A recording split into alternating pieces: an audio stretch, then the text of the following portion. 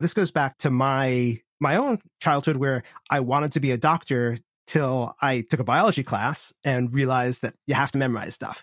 And if I had been able to memorize that stuff, you know, the initial biology classes would just have been getting those facts in my head. And once I had done that, I then could have gone on to synthesize them to do interesting things with them. But they've got to get in your head first. And if I just want to look up a fact, I can look it up on the internet. But if I want to synthesize it, if I want to make connections, if I want to build something, I can't synthesize two facts that Google knows. I can only synthesize two facts that I know.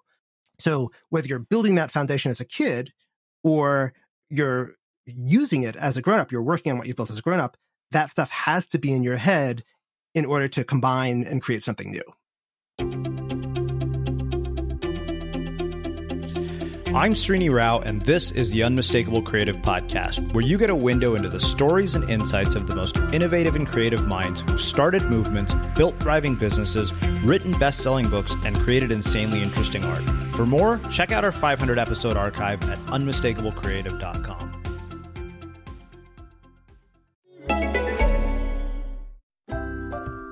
Today's sponsor is brought to you by Nature Made, the number one pharmacist recommended vitamin and supplement brand. Nourish by Nature Made is a personalized vitamin regimen that removes the guesswork of selecting supplements that are specific to you. Backed by 45 years of science, delivered right to your doorstep, and costing on average less than $2 a day. Nourish is your one stop shop for customizable supplements. Visit nourish.com to get started today. You decided to upgrade your outdoor deck, so you ordered the essentials a power washer, a set of patio chairs, and a shiny new grill. And you used your Bank of America Cash Rewards credit card, choosing to earn 3% cash back on online shopping or up to 5.25% as a preferred rewards member, which you put towards the cost of your most essential deck addition, a bird feeder. Apply for yours at bankofamerica.com slash more rewarding. Copyright 2020 Bank of America Corporation. Jacob, welcome to the Unmistakable Creative. Thanks so much for taking the time to join us. Thank you. Thanks for having me. Yeah, so I found out about your work because you wrote in, uh, and you recently wrote a book called How to Remember Everything, all of which we will talk about. But before we get into all of that, uh, I want to start by asking you, where in the world did you grow up, and how did where you grew up impact uh, how your life has turned out? So I grew up in Washington, D.C. in the 70s and 80s when Washington was the murder capital of America. Uh, it had the highest per capita murder rate of any place in the country. Uh, although, as our as our mayor said, except for the murders, it's a very safe place. But then, as as I think now, DC was a somewhat divided place. People would say there are two Washingtons. Um, there was sort of the, the very poor area where a lot of the the murders were taking place, and then there was this these pockets of privilege. Uh, and you know, I will be honest, I grew up in a very privileged pocket in Washington D.C. Um, I went to a very fancy prep school where my classmates were were the kids of senators and diplomats, and uh, you know I was in the debate club with the daughter of the vice president, um, and so I think the way that that had obviously some some good and bad impacts on my life. The the good impact was that I felt like I could walk into any room in the country and feel like I was I belonged and I had a right to speak up, just because you know whoever was there is going to be like, you know, if if it's the vice president is in the room, not that this ever happened, but you know, that's the dad of a kid you know, so it's somehow less intimidating. Oh, I was going to say, and so, but the, you know, the downside is that because it was this very privileged bubble, it wasn't till I got to college that I started seeing, okay, this is not actually everybody does not have access to this kind of privilege and opportunity. Everyone does not have this crazy background. Uh, and, you know, if you if you have to go to Princeton to get in touch with a common man, then you definitely grew up in a bubble. yeah, well, okay, so uh, you know, look, I mean, you and I share a similar background in that, you know, uh, my experience of that was basically going to Berkeley. I mean, you know, I didn't necessarily grow up rich. Like, I, I saw my parents get to the point where they were relatively well off, upper middle class. You know, like my dad was building his career throughout my childhood, but my sister more or less experienced what you did, and you know, I went to Berkeley, which is you know not on the same caliber as Princeton, but it's up there. Um, yeah, they're all the so same. When I level. wonder, yeah, exactly. I mean, uh, there's really no difference, um, other than the fact that you might have had nicer, you know, green lawns than we did. And Right. you know, I was always jealous of Princeton because F. Scott Fitzgerald went there, and so that was like one of my dreams was to go to Princeton, even though I didn't have the grades. Um, but the thing is, I wonder when you have, you know, experienced growing up in uh, what you call a pocket of privilege. how does that impact your worldview when you see the sort of social and economic structures of society we live in today? And how does that even make you think about, you know, wealth, um, you know, equality, all these things that play a significant role in our lives, whether we want to admit that or not? Yeah, absolutely. And so, so an additional bit of background I'll give you is that although I grew up in this very privileged area, actually, I think this is a, a way that you and I are also like, my parents did not grow up with that privilege. Um, you know, my mom was a, a refugee. She came to America at, at five, fleeing the Nazis.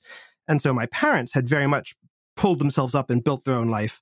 And so I think the combination of hearing their story and then sort of growing up with all these privileges myself, I just believed in, I believed in the American dream. I believed that these opportunities were open to everybody and that anybody who worked hard could, could get to that level.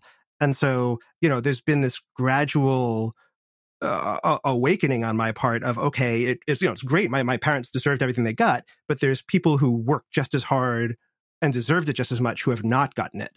Uh, and so I think it's, it's, I've had to sort of unlearn some of the things I grew up with. And I will also say, yeah. having seen firsthand that a lot of the, the people I grew up with deserved what they had and worked hard for it, but the kids I was growing up with sort of lucked into it and had these incredible advantages that a lot of kids, the vast majority of kids, don't have.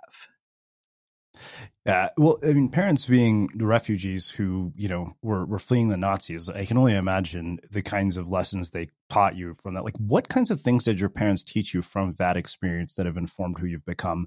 What did they teach you about tolerance? What did they teach you about violence? Like the the kinds of I mean, because you know they're fleeing what arguably is one of the most horrible things that's ever happened in human history.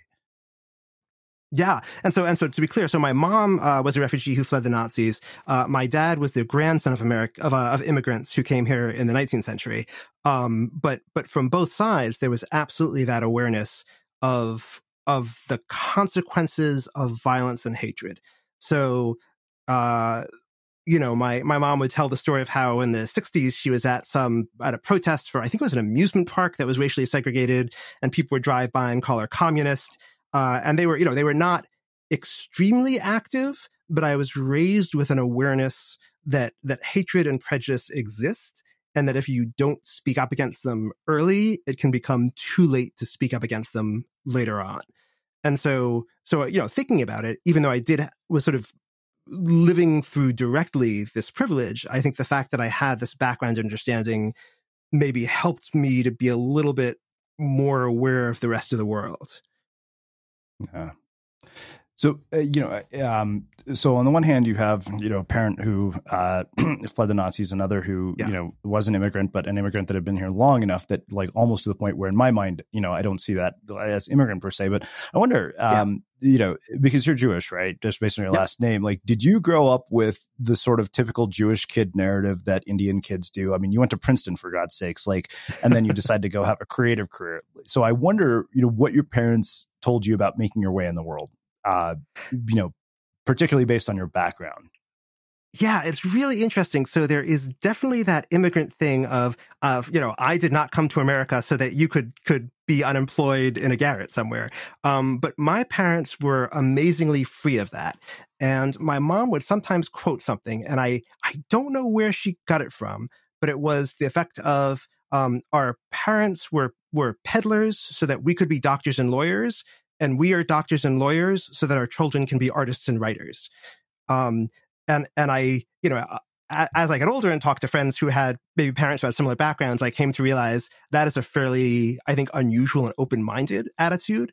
But my parents were always of the attitude that that they wanted us to find life meaningful and satisfying.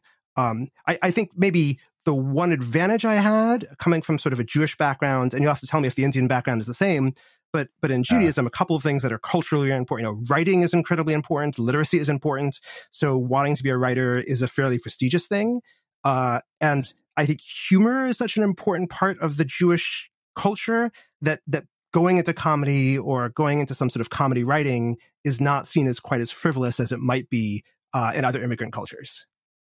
Yeah, I, I, don't necessarily know that you know India. I mean, for sure, like everything you talked about, you know, the the value placed on education, literacy, uh, is very prevalent.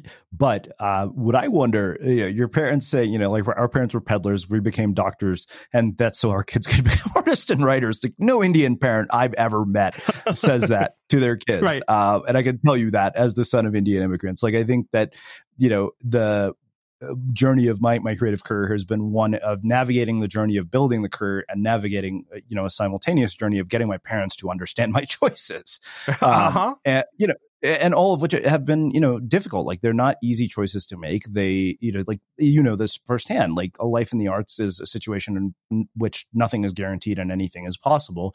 And um, i think you have to be kind of out of your mind to want to do this for a living uh, I, I agree completely yeah, so there's a there's a Jewish tradition uh, that if somebody comes to you and they want to convert to Judaism, you're supposed to try three times to dissuade them from doing it before you're allowed to like even talk to them about what it involves.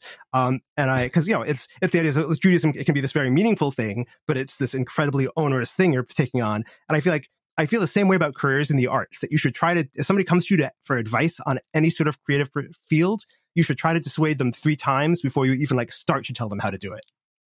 Wow. Well, it's funny you say that because um, Sam Jones has this really amazing podcast called Off Camera, and it's one of the few podcasts I occasionally listen to, despite being the host of one. I actually don't like podcasts uh, as a form of media as a form of media consumption. It, it's kind of ironic, but uh, the the there's a line uh, that he, there's an interview he does with Matt Damon, and Matt Damon tells him almost an exactly a similar story where he says, you know, when people come to me and tell me they want to be an actor, I actually try to talk them out of it. And he says, why? He says, because if I can talk you out of doing this thing in one conversation, you're definitely not cut out for it. Yeah, I, I think that is totally true. I really do. And I think, by the way, if you're not so, cut out for it, that's not a bad thing. I think in some ways that's mm-hmm. probably a healthier thing. Yeah, I, I, that's the thing. I, that's you know, so so you know, you and I were talking before we hit record about the fact that you kind of had gone, you know, looking for a personal development podcast, and you know, in so many ways, I and I think to some degree, I'm guilty of perpetuating this. Like we've created this narrative and culture of like follow your passion, you know, go do this, you know, creative thing, um, but that doesn't take reality into account. It doesn't take context into consideration so often, uh, and that that's so important. Which you know, kind of raises my next question: What did your parents actually do for work? Uh, so, uh, so my dad was a lawyer. Uh, and my mom was a stay at home mom when I was younger. Then she got a master's degree in anthropology. Uh, and she started up this amazing program where she would bring, she would teach anthropology and she would bring volunteers to teach other things in old age homes on the idea that you just, you know, you are never too old to learn. There's never a point where your brain should stop working. So she would teach these fairly sophisticated courses to people in retirement homes. Wow. Well, I think that makes a perfect segue into talking about your work specifically. But before we get into you know the concepts uh, in the book, what has been the trajectory like from Princeton? Like, and did you know as a young kid that you always wanted to be a writer, or was that something you discovered later in life? Uh, very early on, I wanted to be a doctor, and then I took my first biology class and decided I wanted to be a writer. Um, Been there, done that. Yeah, exactly. Basically, uh, and I, uh, you know, at, at the time, I was really bad at remembering stuff, at memorizing stuff, um, or I should say, remembering stuff I was supposed to remember. Uh, and and of all the sciences, biology is the one where you can figure the least out on your own, and you have to remember the most. Um, so from a pretty early age, I wanted to be a writer. It it took me a fair amount of back and forth to figure out what kind of writer I wanted to be. Uh, so I, I moved to Los Angeles after, I, well, as an undergraduate, uh, I studied, I had this amazing experience. I studied fiction with Toni Morrison, uh, at, and some, some other amazing people. Uh, I, I had my work personally insulted by Joyce Carol Oates, which is an opportunity few writers get. uh, so she, she actually, so the way, so I did a creative thesis. I did a collection of short stories and, uh, they, she was the faculty member who was chosen to grade it. And she called it a most uneven collection of quote short stories, unquote. and uh, those those quotes still stick with me decades later. Well, okay, so I, I, think this is actually really important because it, it, raises numerous points about how to deal with critics. But more importantly, I think that you know, in certain cases, like you have critics that are worth listening to, particularly if you've had these extraordinary teachers. And it's this sort of balancing act of knowing, okay, when they're right, when they're wrong. Like, you know, I had this writing coach that I worked with on one of my books. And uh, I remember like the first month we were working together, uh, you know, it would it literally took me a month to stop taking her, her, feedback personally. I was like, wait a minute, you're doing the job I hired you for, which was to be tough on me. Uh, but what did you learn from working up close with such iconic writers to be taught by people like Toni Morrison and Joyce Carol Oates? Like most of us dream of opportunities like that. Um, even if we do get, you know, that harsh criticism, we'll talk about the criticism in a second. But like, what did you learn about craft and commitment uh, from people like that? So it, it was, you know, it was amazing. And the, the Toni Morrison experience, it was me and maybe five or six other kids uh, doing a class on long form fiction. We were so you're working on like a novella over the course of the semester. Uh, and, you know, it, on the one hand, it is absolutely amazing because you have in front of you an example of the, the upper limits of human potential if you keep on working in this field. Um, it's, it's also incredibly motivational because once Toni Morrison sees anything whatsoever positive in your work, you know, that keeps you going through decades of criticism from people who did not have Nobel prizes. Um, at, at, the same time, I guess what all the, the, the area where it's not quite as amazing or where it's, it's amazing in a different way than you might imagine is it's, it's like if you go to the gym and, and the guy who shows you where the weights are is Dwayne the Rock Johnson like a, uh, it's you could, it's amazing to see what you can do with it but at a certain point he all he can do is just sort of point you to those weights and say keep lifting these till you look like me. So, so it's not like Toni Morrison could, you know, it's like he can't tell, there's no sentence he can tell you that's going to make you s- swell up like him. And, and it's not like Toni Morrison was able to sort of say, okay, here's the, the three things you need to do to win a Nobel Prize. Um, yeah. So, so I, and this is something that I, I think actually this sort of gets back to our conversation about privilege and opportunity, because I think sometimes I'll hear people say, oh, I didn't get, I, I've never studied writing. I haven't had great teachers.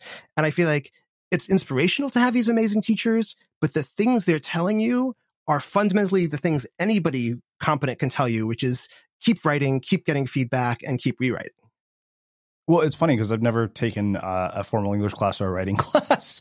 yeah, uh-huh. uh, it was was I, I, wanted to be an English major, and my dad was like, "No go," uh, right. which you know I listened to then, and, and, I never even you know wrote for the school paper, which I wish I had done. Uh, you know, like literally, my only formal writing experience has been writing books, uh, but I've never been formally trained in any capacity. Which you know, the the downside of that, of course, is I make atrocious grammar errors, so I have to have proofreaders go through everything. Uh, but somehow, I remember one of my friends was like, "How the hell did you get a book deal?" He's like, "You're the worst damn speller I've ever known." like, yeah, I know. I don't know. You know, I was like, that's why they made me work with a writing coach. Uh, but I think the the other thing that that is interesting, uh, you make a really good point, right? I love the fact that you brought up the fact that you know people often will look to somebody like a Toni Morrison, or you know anybody who they can learn from, and say, "Oh, so what are the things that I need to do in order to have your level of success?" And it's like, wait a minute, you're looking overlooking one really blatant variable in this formula, and that's you. Like you know, I always tell people, you could do everything exactly as I have done, and I promise you, your results will be different. They might even be better yeah, I, that is, that is absolutely true. And I think so, so I think in a sense, having one of the things that's that's worked well for me is I've had a whole bunch of different amazing writing teachers, and so I've I've resisted the urge to say, okay, I'm going to be that person. Um, and I, I do. I think people get in get in trouble. I think sometimes you read a book and you can tell exactly which great writer they idolize and they're trying to be. And instead of being the best version of themselves, they're being like an okay version at best of somebody else. Yeah, absolutely. Well, let's talk briefly uh, about the the criticism because you know, as I said, it was telling you, I just finished writing this nine thousand word uh, article on the psychology of building an audience, and you know, I talked about the fact that it, it, there's more to it than just the work, but it also has a lot to do with your personality, emotional intelligence, social intelligence. But one of the things I, I wrote about was dealing with critics. And you know, funny enough, right as I was doing that section, I made the mistake of going and looking at this article that I had written on Medium that seemed to be getting a lot of comments. And I actually read the comments and I was like, oh, a bunch of people think I'm an asshole. Um, but luckily, it, it, kind of inspired me to say, oh, you know what? Like, what is the value in that? Nothing. Like, I think my attitude towards critics has always been, uh, you know, Seth Godin has this quote. He says, you know, anonymous feedback from people who I have no relationship with will cause me to do nothing but hide. Yet there are also critics worth listening to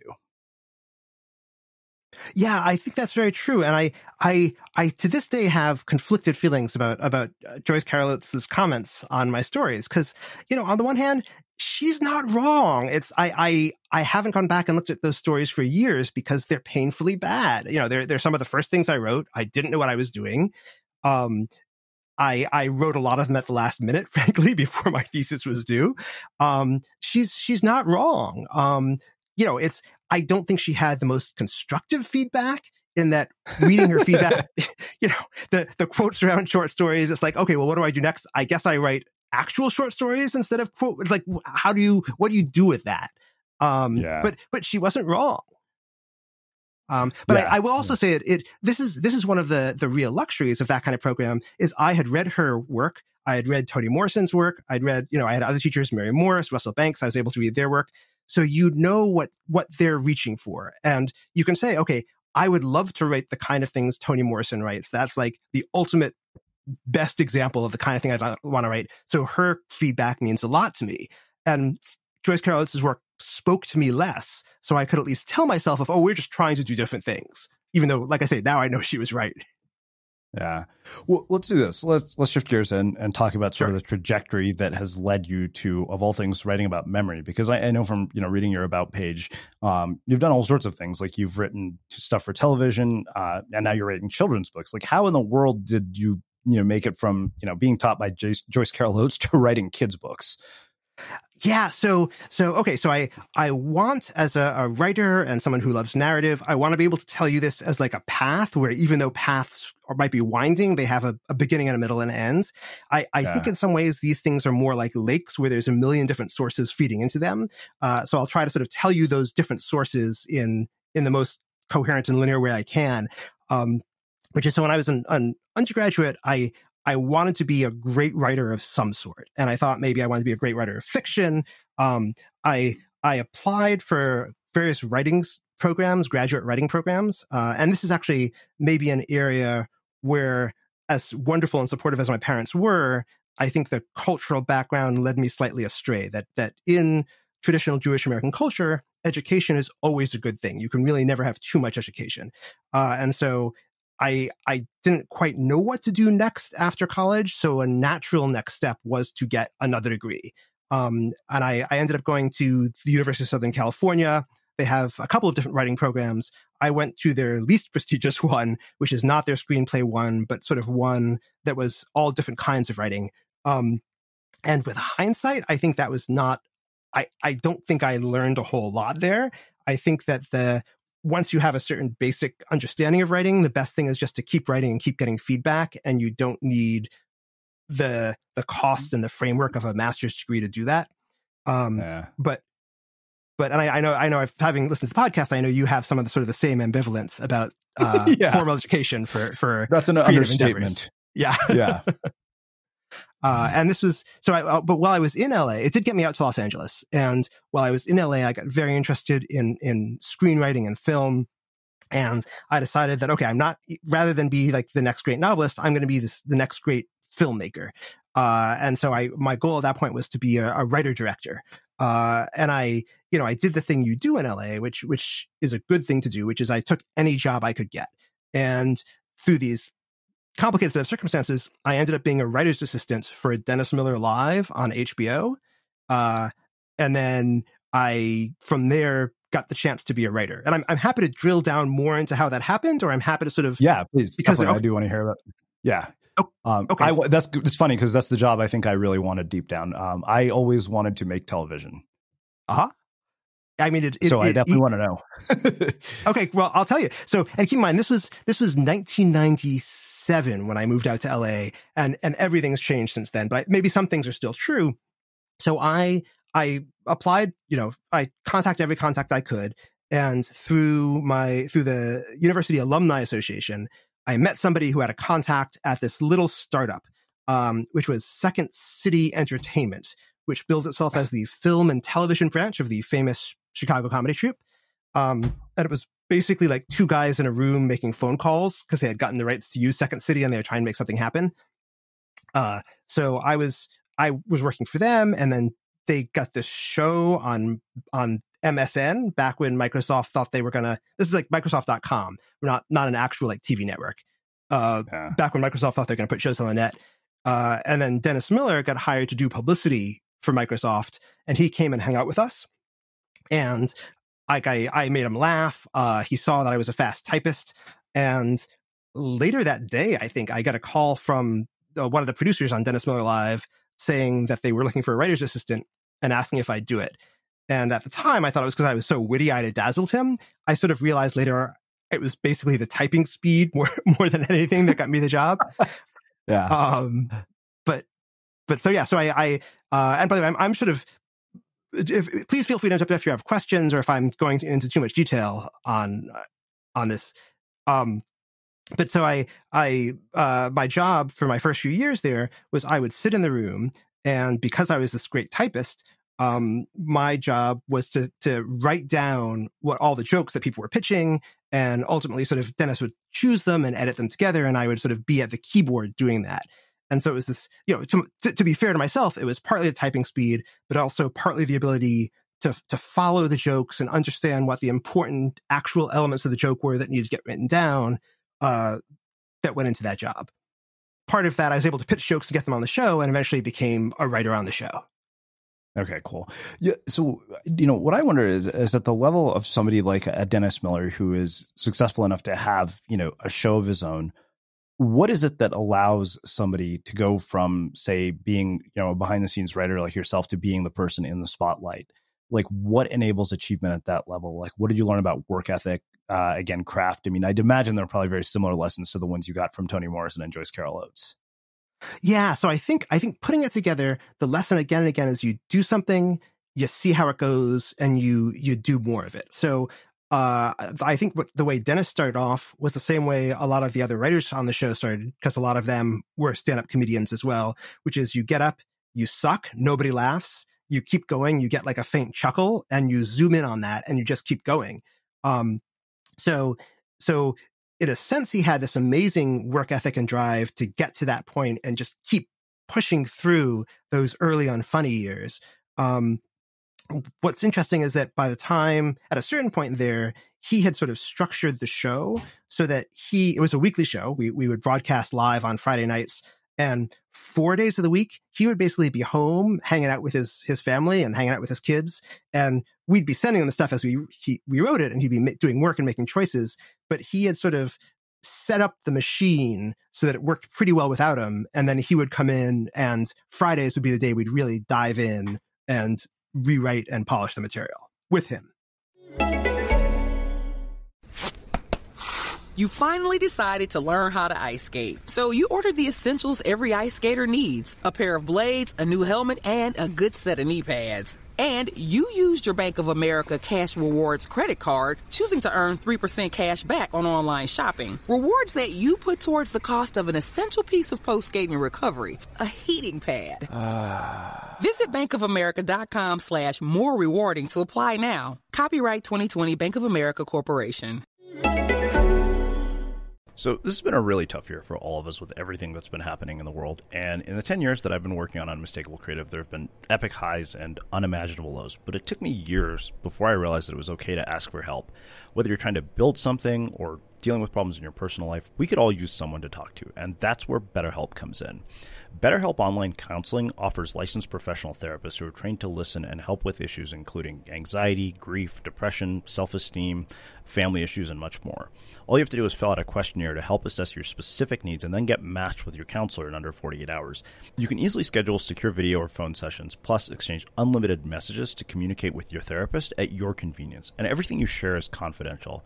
And if for any reason you're unhappy with your counselor, you can request a new one at any time for no additional charge. Join the 1 million plus people who've taken charge of their mental health with the help of an experienced BetterHelp counselor. BetterHelp is an affordable option, and our listeners get 10% off your first month with the discount code UnmistakableCreative. So get help today at betterhelp.com slash unmistakablecreative. Talk to a therapist online and get help. Yeah, it's it's interesting to like even think about anything that creative from the standpoint of setting up a machine um, but as you probably know from my own work, like I'm an obsessive person when it comes to building systems for how we get things done. Uh, you know, I mean, at, at this point, we refine the system so much. Like I was you literally talking to my audio, audio engineer the other day. I said, I haven't talked to you in like two and a half weeks, and yet it's all running like clockwork. Yeah, absolutely. And and and by you know, I was on the show for six years, and it had been on for a couple of years before then. And by the end of that, it was exactly that kind of process where we had you know, Tuesdays were the day that the writers would vote on the monologue jokes and send a certain number up to Dennis. Wednesdays we'd work on the rant, which was his monologue on a certain topic. And it was very, it was like working in a factory where certain days you had output of a certain kind that then went through a certain process to get that widget at the end, which was a show. Yeah. Well, I, I, think that that actually makes um, a perfect segue to talking about this whole idea of memory. But first, before we get to the memory thing, how in the world did you make the transition from Dennis Miller to children's books? Ah, well, so okay, so actually, there's there's less of a difference than you'd think, and the, the reason is this: that one of the the big lessons I learned, one of the big skills I picked up from Dennis was writing for a different voice than mine. Like Dennis, you probably can tell just talking to me, he's a very different person than me. Um, and so the what I had to learn was how to sort of see things from his point of view. He was, you know, every time ultimately we were writing for the TV audience, but we were all he was kind of the audience we were writing for initially.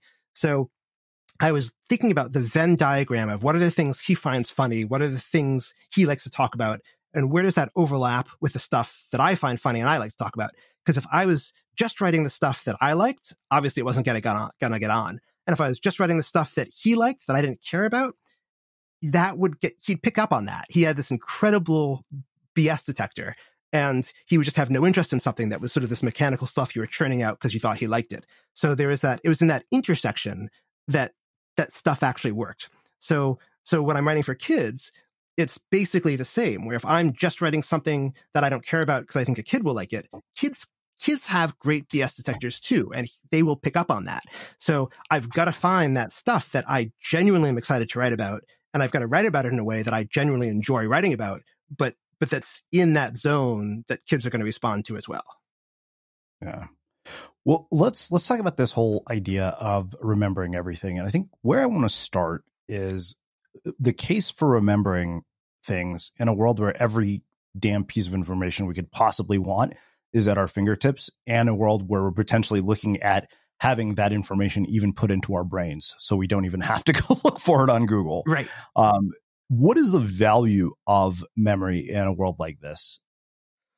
So, so I think there's the value for grown-ups and there's the value for kids. And I'll, I'll start with kids just because that's where we all start, I guess, which is we, you know, we do ask kids to remember a lot. That is still how a lot of school works is you, you make them memorize stuff and you quiz them on it.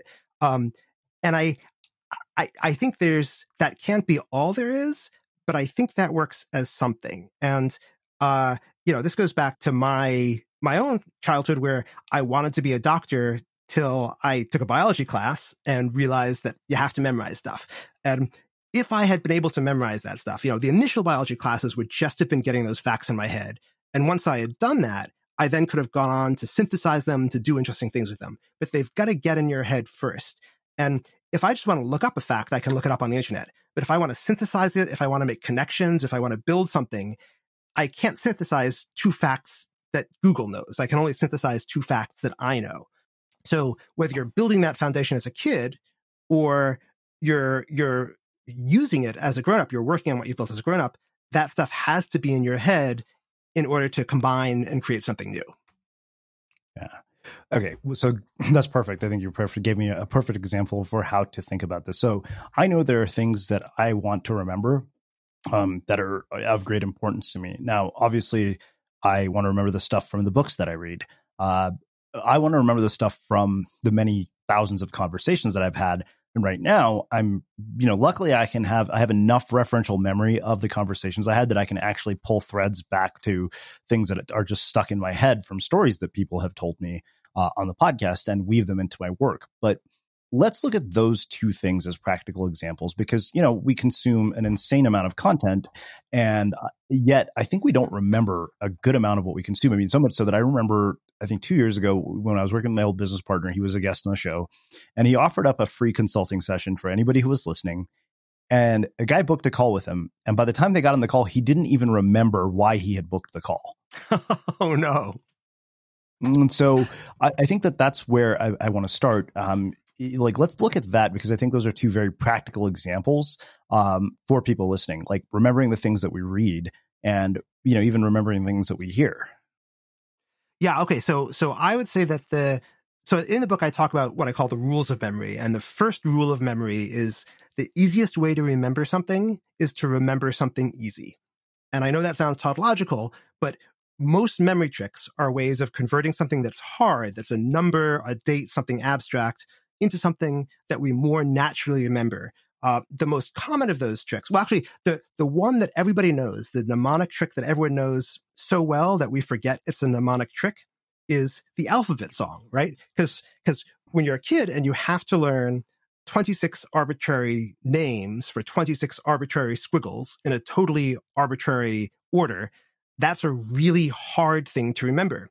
Songs, tunes, melodies, those are easier things to remember because they have their own inner logic that we intuitively get. So we convert this hard thing to remember, these names for these squiggles, into something easy, which is this melody.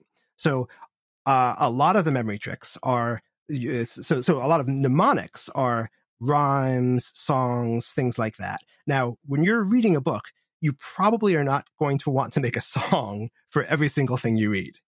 Um, yeah. So, so what I think, what I find useful are two techniques that I use to remember things, uh, like books, uh, or facts from books. Um, the, the most famous is the mind palace or the memory palace or the method of loci, if you want the fancy name. Um, and that's because something that people tend to remember very easily is locations. So you picture a place that you know well and you imagine the things you want to remember interacting with different locations in that. And then when you imagine yourself back in that place, you naturally imagine the sort of the crazy visual interactions that you've imagined. Um, and, and so if you are reading a book, one possible thing is to have a default location for all the things you want to remember from a book. So it could be your study or whatever. And as you're reading the book, you imagine yourself arranging, if you can, if they lend themselves easily to visual representation around the room. Um, the thing is that will get it into your memory for the short term. But if you're going to get it in there for the long term, you need some method of spaced repetition. Um, and I know this is something that that some of your guests have talked about before, uh, but but appropriately enough, I think it bears repetition, which is just that if you if you remember something, um, it will fade away. There's something called the curve of forgetting, which is the the rate at which we forget. And roughly on the average, I've heard it said we forget about 75% of something within 24 hours. But if you review it the next day, say, then you stretch out the curve. So now maybe it'll take you three days to forget 75%. So three days later, you review it. And even the stuff you've forgotten, just by reviewing it, you're stretching out the curve. Um, so I, I have an app. I use Anki on my phone. Um, you can use any flashcard app you want, but you want to get an app that will do that calculation for you, that will remember how recently you've studied something and then just bring it back up to you in the next couple of days. So I, I used to do this all the time. Is I'd read something in a book and I'd say, I've got to remember that. And I wouldn't. So I've now forced myself to get in the habit of, of actually putting it into, of making a flashcard for it and just regularly reviewing it. And I, I feel like that seems like such an obvious thing to say to just review it regularly, but it makes such yeah. a difference. And that spaced repetition is such an efficient way of doing it it's funny because I, I, find myself revisiting books that I've read. You know, like right now I have Robert Greene's Mastery, which is one of those books that's just so dense and so deep that you kind of.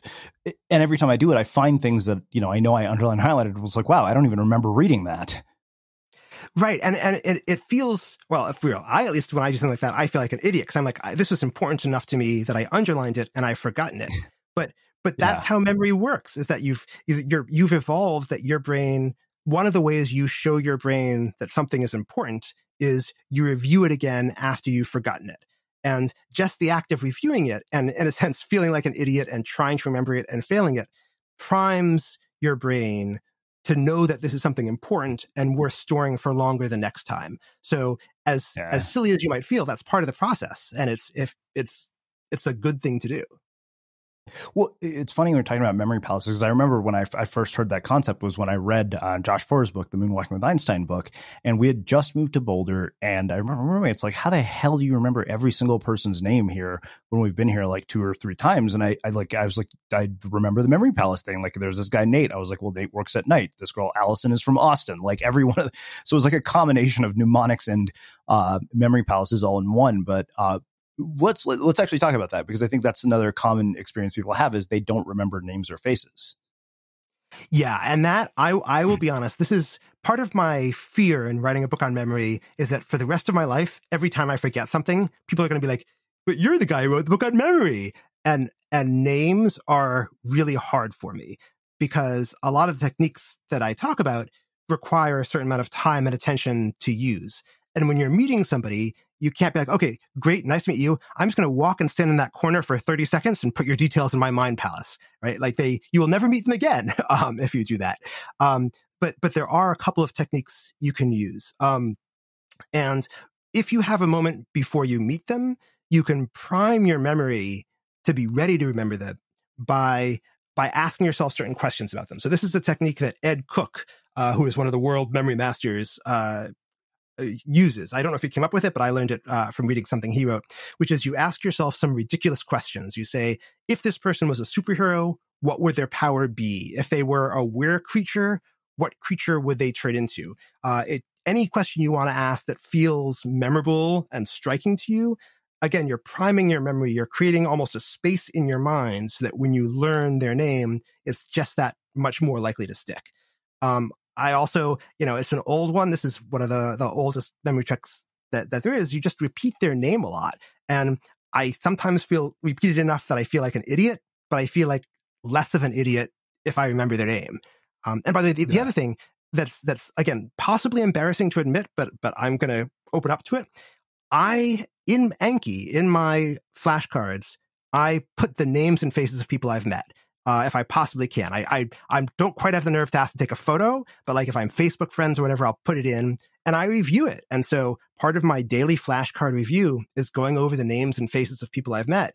And it, it really, it makes a difference. Um, I, I feel like of, of all the, the memory techniques, if I'm going to be evangelical about one, I do feel like spaced repetition is the one.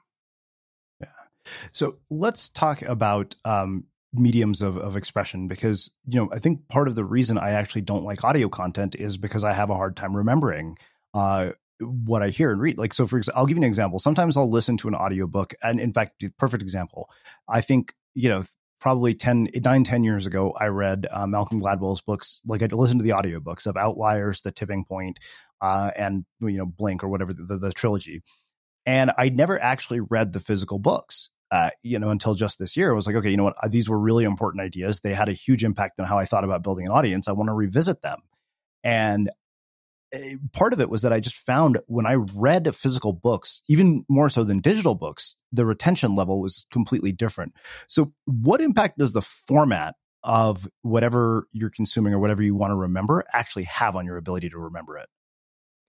So, so this gets a little bit into what I call the second rule of memory, which is that everybody's brain is different. So some, it's going to vary from person to person. Some people absorb things better different ways. And, and I have to be honest that if you look at the actual science about people who say they are visual learners versus aural learners, there's not a lot of evidence that people really are, are as dependent on the the sense on whether it's uh, sight or sound as they think they are, um, but it will be different for different people. I know that for me, I also absorb things better visually, mainly because when I'm listening to something in audio form, if my mind wanders, that information is gone forever. Whereas on the page, I can go back and review it. Um, and so if I can jump back, one other thing that I want to mention about remembering stuff you've read and this is relevant because it's something that's easier to do with stuff on the page. So it's tempting when you're trying to learn something to just keep rereading it, to review it in that sense. But you fix things much more firmly and more long term in your brain by actually testing yourself. So if there's an idea in the book that you want to retain and you just reread it, you will get it in your short term memory very effectively by rereading it again and again. But if you want to get it in your long term memory, it is much more effective to cover the page and test yourself on it and force yourself to bring it out of your brain uh, as well as putting it in. So, and that's something that is much easier to do on the page, obviously. I suppose if you're listening in an audio format, actually, here's a tip for you. If you're listening in audio format, try pausing it every once in a while and just asking yourself, what did they just say? What were the ideas I want to keep? Uh, and if you're able to do that, I suspect you may find audio becomes maybe not as effective as reading for you, but certainly more effective than it was. Okay, that that's interesting. So that kind of raises my next question of digital versus analog, um, because I know, I've read books where people have done research about this, uh, where I think it was a woman named Maryanne Wolf who talked about the reading brain and how the way we read on screens is really different than the way that we read, um, say, in a physical book. Like apparently, what the eyes do is they create this F pattern, and so we scan more than we read. And I know this from one of the books that I've like literally torn, you know, have ear dog eared and you know marked up more than any of my other books. It's Dani Shapiro's book, Still Writing. And I remember when I actually talked to her about it, uh, she and I were talking about this, and almost every writer that I look up to swears by physical books. You know, people like Ryan Holiday, um, people like Amber Rae, they almost all, you know, work with physical notebooks and they read physical books. But, you know, to your point, like I, I don't necessarily think one is wrong or right. Um, that's for me my preference, but I wonder what the impact is on retention, whether it's digital or analog. So, so like, as as you said, there there have been studies that seem to show that the, the physical books work better. Um, and what I would add to that is my semi-scientific theory, I suppose, about why that is. Is there's a, concept called elaboration, and that's the idea that that memories you can remember things better by adding on to them.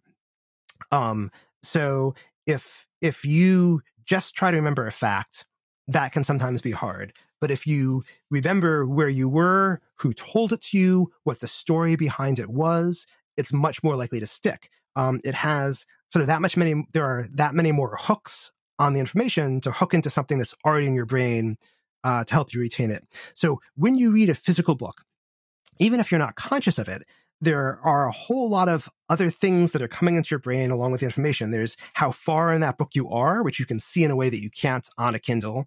There's where on the page it is. Um, there's the physical feel of the book. And my theory is that all those things act as a form of elaboration. They create more hooks for the information to stay in your brain. Um, I, I think that, that you can, again, simulate that if you're reading electronically and you find that harder by stopping occasionally and thinking about how those facts integrate with things that you already know, or that you've read in that book or learned elsewhere. But inevitably, I do think there's going to be something about a physical book that just that that floods your senses a little bit more, uh, and therefore gives you that much more elaboration on any given fact. All right, cool. Well, let's talk about the the more advanced stuff, which you know, for the most part, you know, I, am not sure I'll have any practical use for memorizing a deck of cards or a ridiculously long string of numbers, other than to like impress the shit out of my friends and family and make uh-huh. them think I'm some sort of savant. But I do want to know how to do it because I remember even reading about um, memorizing a deck of cards in Cal Newport's book Deep Work, and I thought to myself, why the hell would anybody spend their time doing this? And I realized he's like, wow, this is actually a really great exercise to train your ability to focus. Um, so let's do the deck of cards example because I, I, am actually planning on doing that. I've been meaning to order a deck of cards, but um, you know, the other one I would think of is, you know, I just finished reading Erno Rubik's book, the the Rubik's Cube guy, and that's another one that I'm like, okay, for the life of me, I've never been able to solve the damn thing. And even when I watch YouTube tutorials, I still can't solve it. And he actually discourages people and he encourages them to just spend as much time as you can with it as opposed to learning a, a, formula for it. Yeah, I, instead of uh, going to YouTube, like he's like, if you really want to learn how to do it the right way, he said, learn it. He said because the there's something about I don't remember the exact details, but he actually discouraged the idea of going to YouTube to find tutorials to do it as fast as you can. Oh, that's really interesting. Um, so yeah, so I mean, should I, should I dive into how the the card uh, memorizing yeah, works? Absolutely. Okay. Yeah. Okay. So so this gets back to that first rule that the easiest way to remember something is to remember something easy. And cards are a pretty abstract thing, right? It's like this arbitrary symbol that is a diamond shape or whatever the hell a spade is or a club. Um, and a number, which is in itself abstract. So the key is to take each card and convert it to something that is easier to remember. And for most people, people are easier to remember than cards. So uh, the most effective systems I found for memorizing cards start by converting 52 cards into 52 distinct people. Um, so Dominic O'Brien, who was a memory champion, his method was just pretty much arbitrarily. He would take each card and just choose a person. And sometimes it's somehow the person that that card reminded him of. Sometimes it wasn't. And he would, through brute force, remember initially what person each card represented. Um, there's the uh, Ed Cooke method, which I like more, which is where first you come up with a framework. So diamonds, there's 13 diamonds. Those are going to be 13 rich people. Um, for obvious reasons, diamonds symbolize wealth. Uh, 13 hearts are going to be 13 beloved people. Uh, 13 clubs are going to be 13 strong or violent people because a club is a weapon. And then because a spade is just a weird, funny symbol, those are going to be 13 funny people. So by narrowing it down a little bit, you've actually made it easier to choose those people and also ultimately easier to remember them. Because if you get stuck on what the Queen of Spades is, you can remember, okay, the Queen of Spades is a funny person. Uh, you then narrow it down further by saying the odd numbers are women and the even numbers are, I'm sorry, the odd numbers are men and the even numbers are women. And you remember that by saying that the guys were odd, but the women got even. Uh, and then, and I don't know how much you want me to go into this. There's a system where you break it down even further. So like the ones and twos are athletes, the threes and fours are actors. Um, and then you've got this elaborate system. And at this point, I think most of your listeners are thinking, this, how is this easier than just memorizing a deck?